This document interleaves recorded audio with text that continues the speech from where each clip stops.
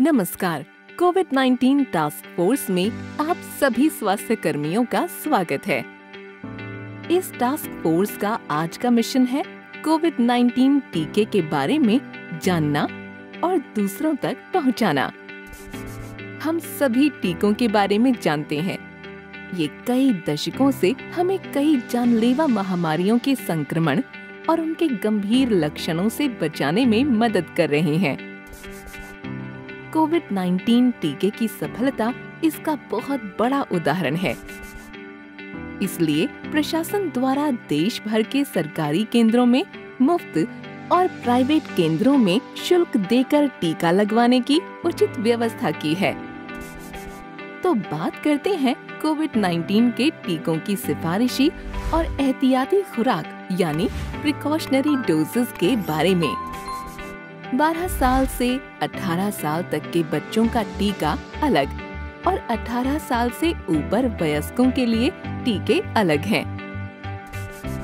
12 से 18 साल तक बच्चों के लिए दो कोविड 19 के टीके लगवाने चाहिए और 18 साल या उससे ज़्यादा उम्र वाले हर व्यक्ति को दो अनिवार्य टीकों के साथ साथ एक बूस्टर डोज लगवाना ज़रूरी है अपने समुदाय को ये ज़रूर समझाएँ कि कोविड 19 टीका गर्भवती महिला के साथ साथ हर योग्य व्यक्ति के लिए पूरी तरह से सुरक्षित है खास तौर से बुज़ुर्गों और अन्य बीमारियों से ग्रसित व्यक्तियों को सलाह दें कि वो नियमानुसार दो टीकों के साथ साथ बूस्टर डोज ज़रूर लगवाएँ।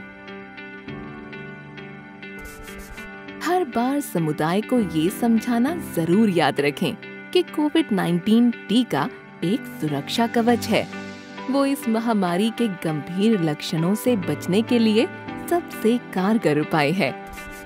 इसलिए आशा होने के नाते आपका ये कर्तव्य है कि आप समुदाय में कोविड 19 टीके का प्रचार करें। और सुनिश्चित करें कि लाभार्थी टीके ज़रूर लगवाएँ। अब देर न करें। इस जानकारी को औरों तक पहुंचाएँ, क्योंकि होशियारी और हिम्मत से ही हम मिलकर कोविड 19 को भगा पाएँगे।